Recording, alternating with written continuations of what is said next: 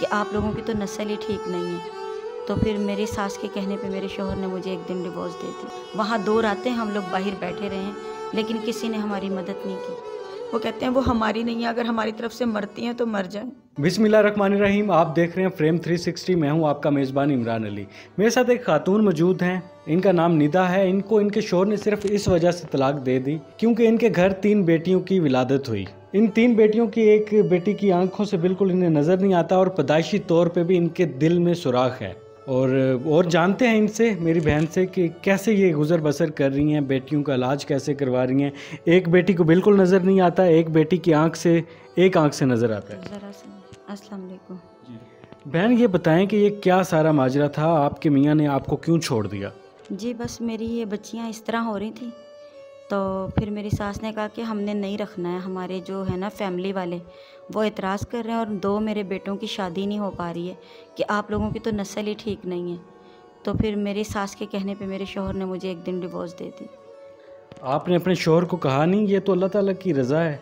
बेटियाँ तो अल्लाह की रहमत होती हैं और बेटियों की सदका ही अल्लाह ताला अता करता है।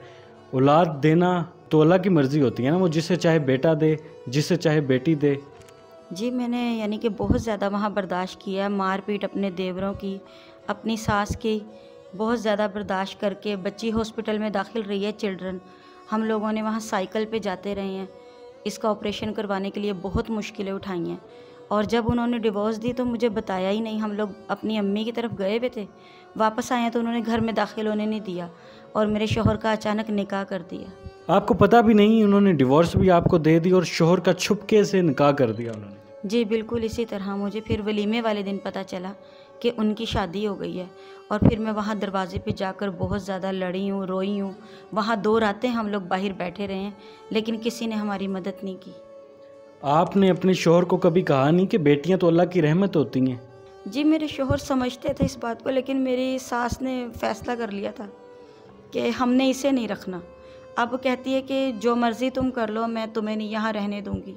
और आखिरी हल उसका यही था कि उसने मेरे शोहर की शादी करवा दी। आपकी शादी अपने ख़ानदान में हुई थी? जी मेरी अम्मी की खाला है वो। रिश्तेदार हैं हमारे। करीबी रिश्तेदार हैं। जी। बस बहुत मुश्किल है अब इन बच्चियों को संभालना। मैं जाती हूँ घरों में काम करती हूँ लेकिन बच्चियाँ बहुत परेशान होती हैं। समझदार हो गई एक बड़ी बेटी मेरी पंद्रह साल की है जो कैमरे के सामने नहीं आ रही। तो बहन मुझे ये बताएँ कि बच्चियों के पैदाइशी तौर पे दिल में सुराख है और एक बच्ची को बिल्कुल नज़र नहीं आता और एक बच्ची की एक आँख से नहीं नज़र आता। तो कैसे मैनेज कर रही हैं ये? जी, बहुत मुश्किल से मैनेज कर रही हूँ। बच्चों को अंदर बंद करके जाती हूँ और ये जब फ़ाइका छोटी थी, जब तो ये घबरा के दरवाजे के पास बैठ के रोने भी लग जाती थी और इसको बहुत कम नज़र आता है दूसरी आँख से। लेकिन क्या करूँ? बाहर जाना पड़ता है, इनके लिए खाना लाना पड़ता, वरना कोई किसी को नहीं पूछता। तो आपके जो, आपके घर वाले आपको सपोर्ट कर रहे हैं? अपने माँ बाप की तरफ़ से आपको किसी ने सपोर्ट किया? नहीं, मेरी वालदा की तरफ़ जो मेरे भाई हैं, वो शादीशुदा हैं और एक रक्षा चलाता है और एक दर्जी है। तो उनकी तरफ़ से बहुत कम ही सपोर्ट होती है, तभी यहाँ शहर में बैठी हूँ अपने बच्चों को लेकर। कि शायद कुछ हो जाए, अल्लाह करे, अल्लाह की तरफ़ से मदद हो तो मैं इन्हें हॉस्पिटल वगैरह ले जाना ही बहुत मुश्किल होता है, तकरीबन दो दो हज़ार किराया लग जाता है। बहन आपके मियाँ ने आपको डिवोर्स दे दी ये कितने साल हो गए आपको? कितने शादी के कितने साल बाद डिवोर्स दी थी? और अब डिवोर्स को कितने साल हो गए हैं? जी शादी मेरी सन 2003 में हुई थी अच्छा। और 12 साल बाद उन्होंने मुझे तलाक दे दी और अब 18 साल शादी को हो गए हैं और 8 साल मेरे शोहर को छोड़े हुए हो गए हैं। तो शोहर ने कभी लौट कर देखा नहीं कि मेरी बच्चियाँ किस हाल में रह रही हैं। मेरी बच्चियों के दिल में पैदाइशी तौर पे सुराख है, मेरी दो बच्चियों को नज़र नहीं आता था। शोहर ने कभी वापस मुड़कर पूछा नहीं कि मेरी बच्चियाँ किस हाल में हैं, किस हाल में वो ज़िंदगी गुजार रही हैं। कभी रबता हुआ है आपका? नहीं, रबता कभी नहीं हुआ। कभी बच्चियाँ हॉस्पिटल में दाखिल हो एमरजेंसी में हों तो हम कभी जाते हैं तो वो लोग दरवाज़ा नहीं खोलते। वो कहते हैं, वो हमारी नहीं है, अगर हमारी तरफ़ से मरती हैं तो मर जाएँ। वो लोग कभी भी रबता नहीं करते।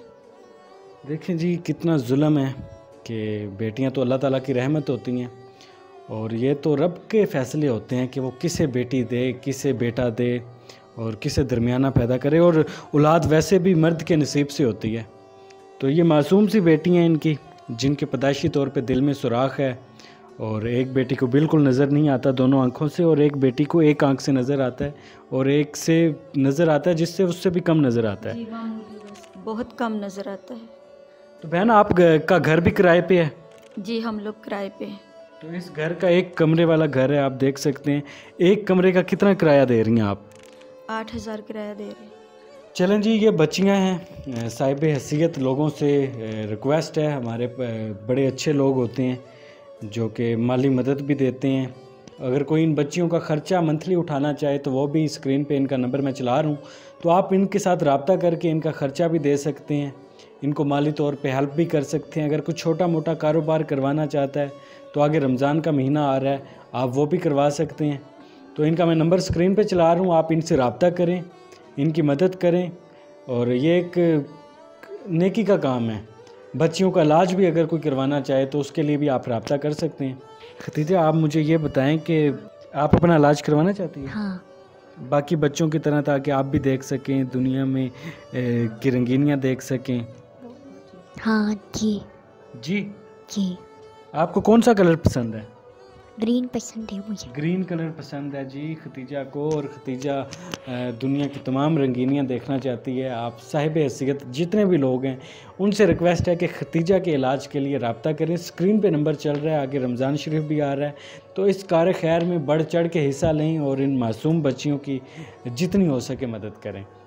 फ़िलहाल मुझे इजाज़त दें और आपसे रिक्वेस्ट है जाते जाते कि फ्रेम 360 को सब्सक्राइब करके बेल आइकन को प्रेस करें। ताकि आइंदा आने वाली तमाम वीडियोस की नोटिफिकेशन आपको मिल सकें। फ़िलहाल मुझे इजाज़त दें। मिलते हैं नेक्स्ट वीडियो में। तब तक के लिए आप अपना बहुत ख्याल रखिएगा। अलानी के निगहबान